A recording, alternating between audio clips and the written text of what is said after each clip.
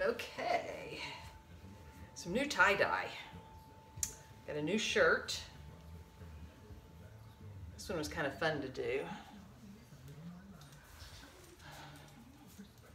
For this one, I actually folded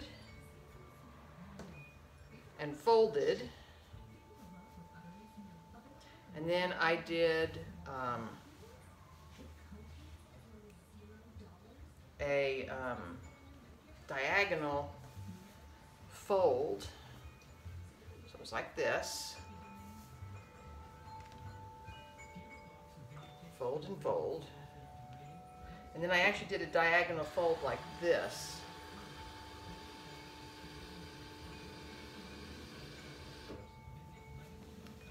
And I used um, reds, blues, and purples. And this is what I came up with. It's kind of interesting. Here's the back of it. I did, once I did the uh, front of it um, in ice dye, I then um, did a boat, um, you know, the, uh, the little uh, aluminum foil boats and put black in it. And so this is what you're seeing. So this was the bottom of it, was this. I think it turned out kind of cool. I kind of like it. It's just something different with some different colors. Let's see. There we go. It's hard to do it in reverse sometimes. So that's a shirt. Then I did two different towels. I'm still doing towels. I really like the, I like the towel thing. But this turned out really pretty.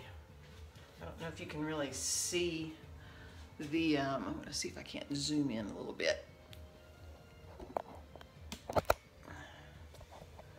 So you can see the colors in it. The colors in it turned out really, really pretty. Combination of colors in here. It just really looked, really looked cool.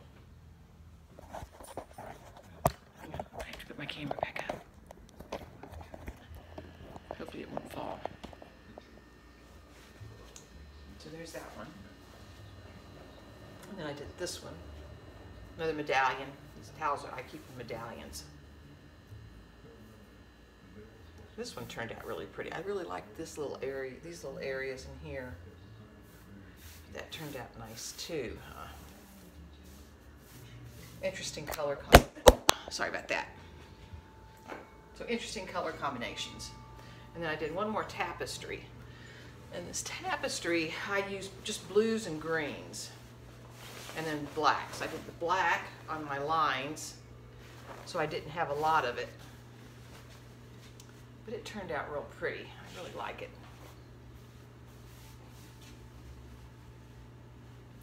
Let's see if I can straighten this out a little bit more down here. Tapestries are big. It's a 50 by 50. So this is still a medallion, but it's just on a bigger piece of fabric. But it turned out real pretty. I really like the, the different color combinations in it. So tell me what you think. I want to know.